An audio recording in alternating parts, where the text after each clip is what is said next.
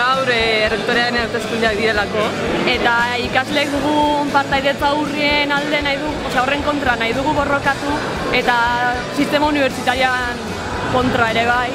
Ze guretako ikasleen dako ez dago ez da egokie eta nik uste partaidetza gehiago eta gure iritze gehiago kontutan hartu behartuko zelako gero erabakik hartzeko orduen.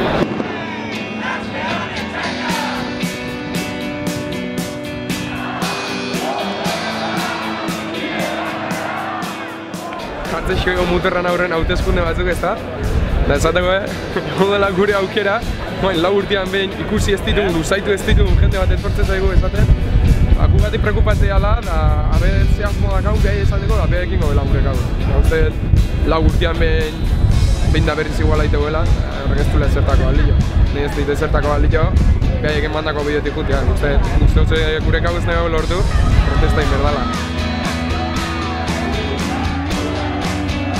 Herritarrok, izan ez, e, geure sistema gustatu nahi dugulako, eskuntza sistema gustatu nahi dugulako, eta horretaz gain, ba, patriarkatuak eta eta bai, ba, enpresariek eta barrikoek, ba, egiten duten presioaren kontrako e, aldarrikapen bat e, ba, bultzatu nahi dugulako, ez?